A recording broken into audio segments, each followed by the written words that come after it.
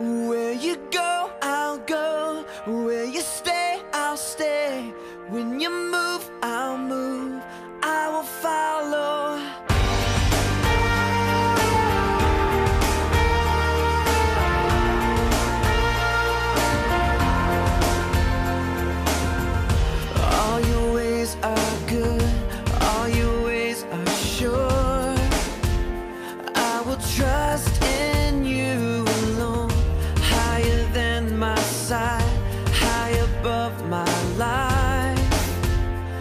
I will trust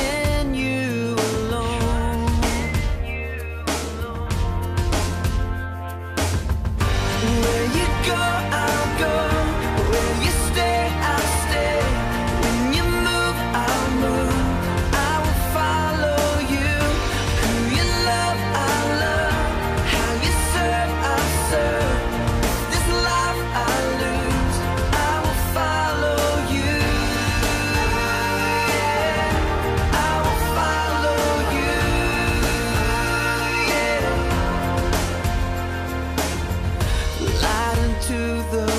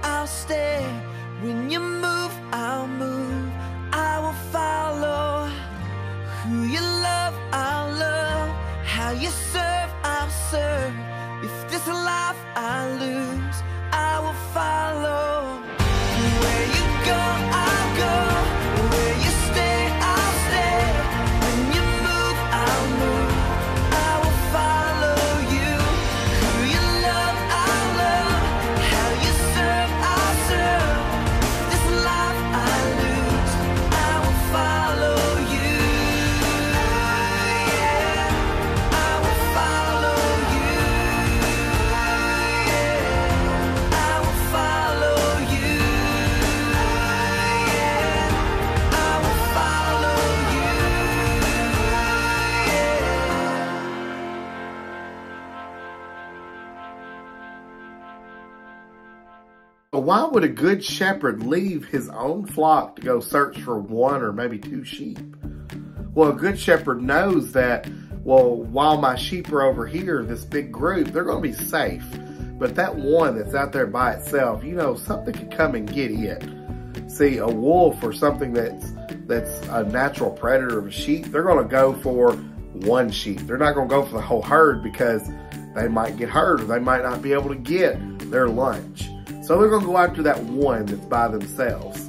So a good shepherd knows that if I go and take care of that one sheep, the other ones are going to be safe as long as they stay where they're supposed to stay. Now, it's even our story we learned about tonight, if you read the story, um, that the the shepherd or the sheep, I'm sorry, the sheep know the sound of the shepherd's voice. So if anything was to happen, the shepherd could quickly call and the sheep would understand that, hey, it's time to go and find our shepherd. So don't forget to, this week, this week's life lesson, I will follow my shepherd.